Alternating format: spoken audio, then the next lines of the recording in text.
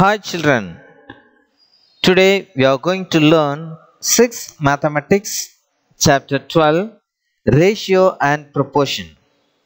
In this lesson we are going to learn ratio. Exercise 12.1 part 1.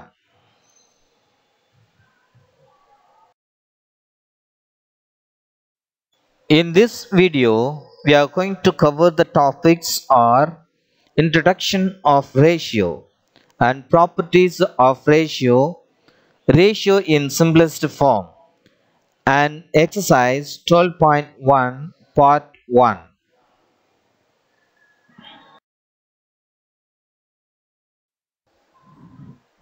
Introduction of ratio. Ratio means a reason. Early translator rendered this word from Latin word rational. A ratio is a relationship between two numbers of the same kind. A ratio is a comparison of two quantities. We can use a simple uh, is to to express as ratio. 2 is to 1. Read as 2 is to 1.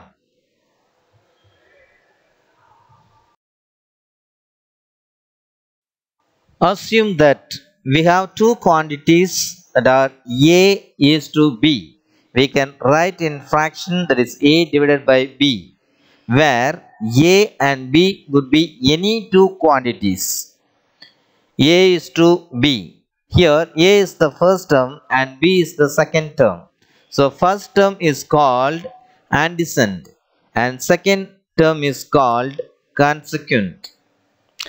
For example, in ratio 4 is to 9 is represented by 4 by 9 in the fraction form where 4 is antecedent and 9 is consequent.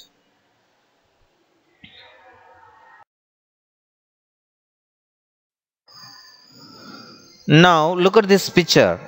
Ratio of square to circle. See how many squares are there? 3. How many circles are there? 5. So square is to circle. That means 3 is to 5. Now look at this picture. How many apples are there? See 2, 4, 6, 8, 10. And how many bananas are there?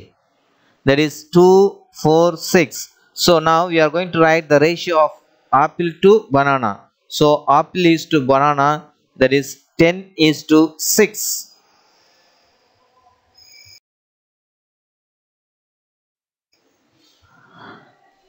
Now we are going to try. Say write the ratio of yellow rectangle to red rectangle. Look at this uh, rectangles. There are two yellow rectangles and three red in rectangles. So write the ratio of given picture is 2 is to 3 and write the ratio of blue triangle to green triangle. Here we have 3 blue triangle and 2 green triangle. So write the ratio of given picture is 3 is to 2.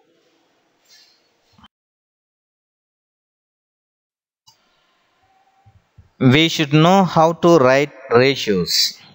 First, a ratio can be written as a fraction.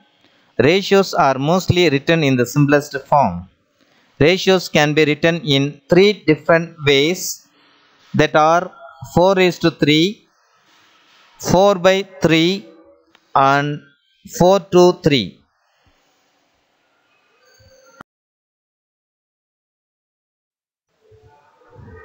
Properties of ratio. First property, a ratio has no unit. It is a number. And second one, the the two quantities of ratio should be same unit.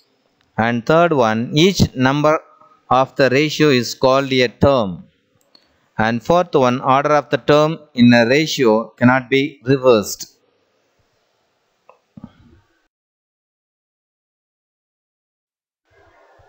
Ratios in simplest form. Step 1. Write the ratios in fraction form. Step 2. Divide the numerator and the denominator by common factor. For example, Express the ratios in the simplest form of the larger rope is 4 meter long and the smaller rope is 2 meter long. Solution. So first write 4 is to 2. So now convert it into fraction that is 4 by 2. The common factor is 2. So divide the numerator and the denominator by the common factor 2. So when you divide you will get 2 by 1 we can write in ratios that is 2 is to 1 that is the simplest form of ratio. Example 12.1 ravi wanted to distribute rupees 1200 between his son and and daughter. In the ratio 7 is to 5 how much money would each of them get? Number of total share equal to 7 plus 5 that means we'll get 12 now we want to find one share. That means 1200 divided by 12 means we'll get 100 rupees. Now son's share equal to 7 multiplied with 100 will get 700 rupees. And daughter's share equal to 5 into 100 will get 500 rupees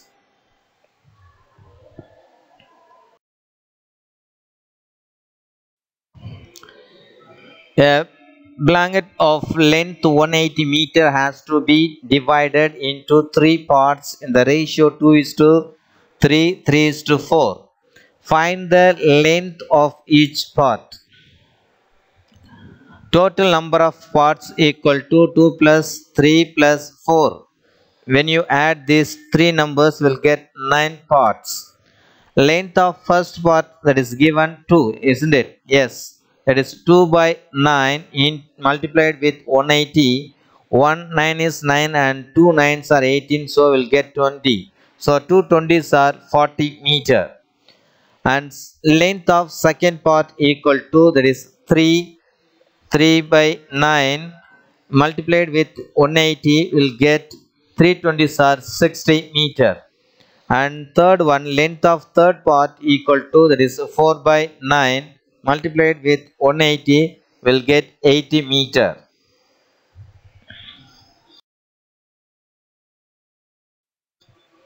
Exercise 12.1 First one find the following ratios. 14 to 12 14 to 12 means first write in fraction that is 14 divided by 12 when you simplify by common factor that means the common factor of 14 and 12 is 2 so divide the numerator and denominator by 2 means we'll get the simplest form that is 7 by 6 now we are going to write that ratios that is 7 is to 6 then second one 2 kilometer to 20 kilometer. Now we are going to write in fraction that is 2 by 20 find the common factor of 2 and 20 that is 2 so when you divide numerator and the denominator by 2 will get 1 by 10 now you are going to write that is 1 is to 10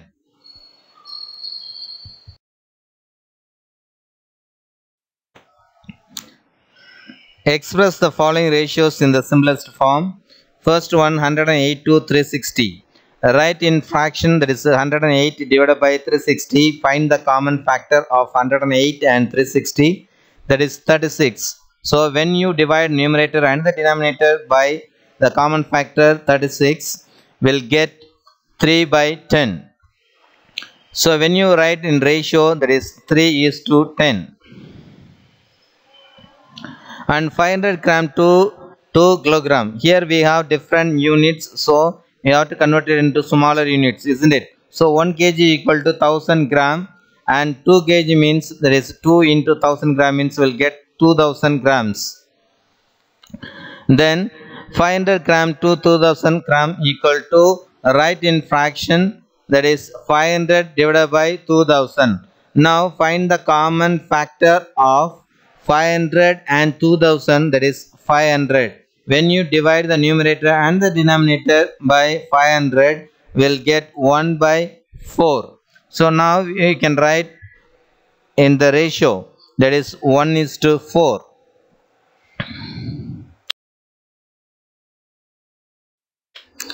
third one 4 days to 2 weeks. Here we have different units. The one is days another one is given in weeks. So day is smaller when you compare with weeks so one week equal to 7 days. That means 2 weeks means we will get 14 days.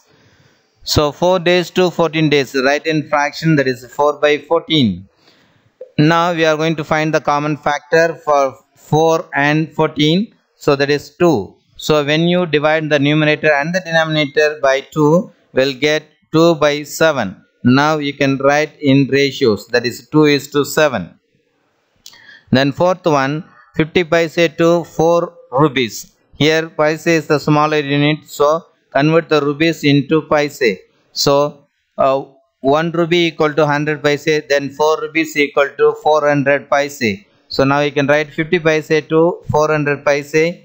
Now you are going to write in fraction that is 50 divided by 400 now you can find the common factor that is 50 when you divide the numerator and the denominator by 50 will get 1 by 8 now you can write in ratio that is 1 is to 8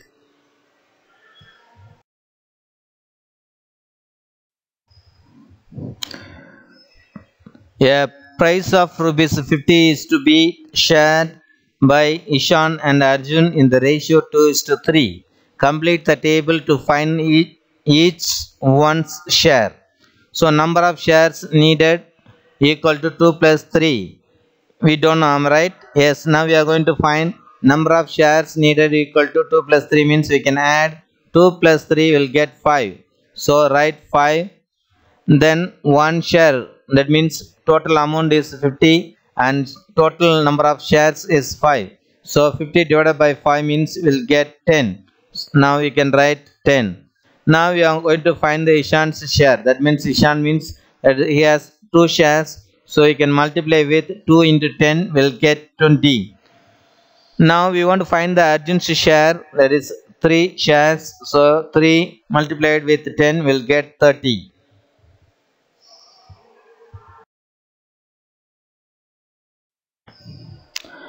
Using the method in question 3, divide rupees uh, 42 in the ratio 4 is to 3. Number of shares needed. Now we are going to add the ratios that is 4 plus 3 will get 7. Now we want to find the one share isn't it? So total amount equal to 42. Number of share equal to that is 7. So 42 divided by 7 means we'll get 6.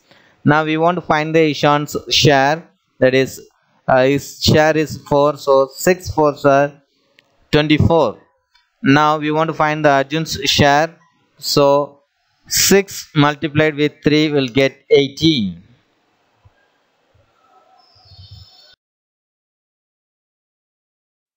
thank you